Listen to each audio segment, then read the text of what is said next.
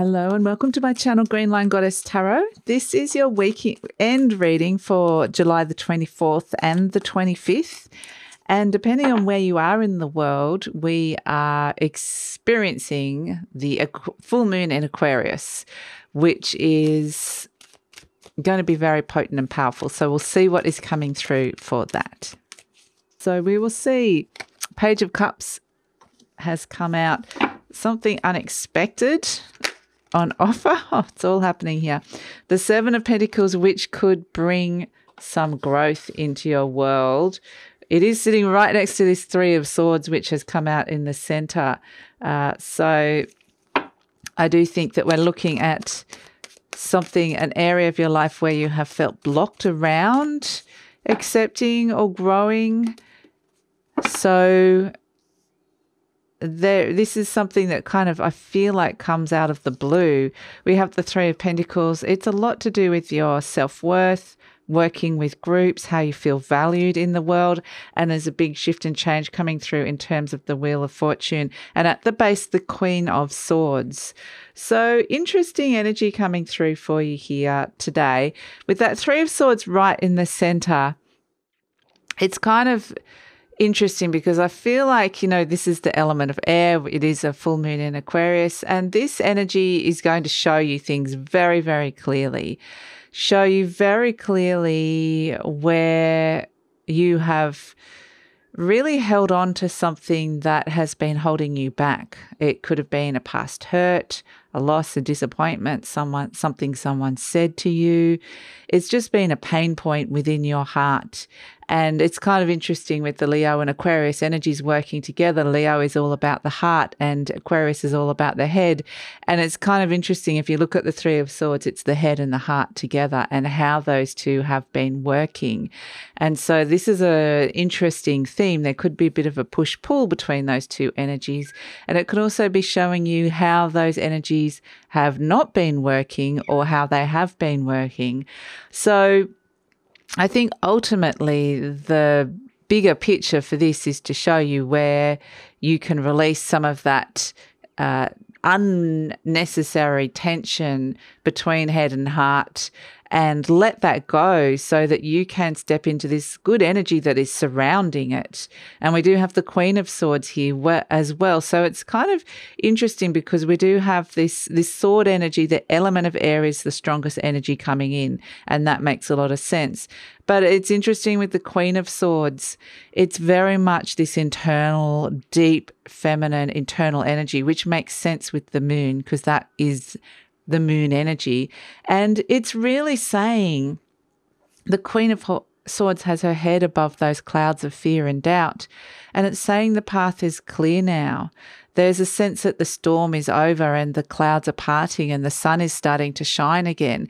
But it's showing you where that has been clouded, where the sun has not been able to get through, that Leo energy has not been able to pierce through something that has been in your head, surround connected to a past hurt, a story that perhaps you've been told, where you haven't been able to break through, you haven't been able to see something very clearly. So this can be liberating. Eh, Aquarius is ruled by Uranus, but it can also be uh, uncomfortable as well. Whenever the Three of Swords comes up, it comes up to be exposed to the elements to be cleared. It needs the element of air. It needs to be able to, a wound needs to be exposed to the air in order to be cleared out and healed.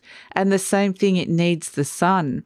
And those clouds you can see that are hovering above that Three of Swords with that Queen of Swords, it's like your head is finally getting on top of something and really fully understanding something that it it has been yeah, it, it kind of never really understood something that was going on in your heart.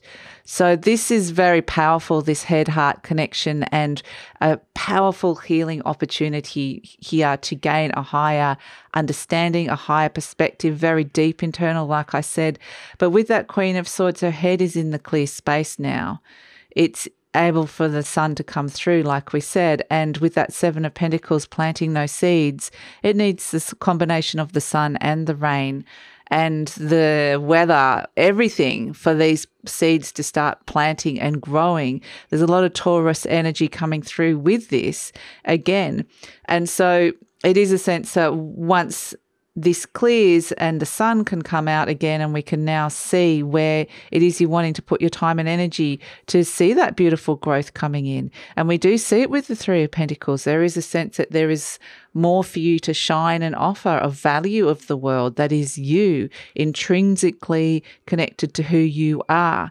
And so there's something very lovely on offer here in terms of your heart with the Page of Cups, there's an offer of the heart coming through.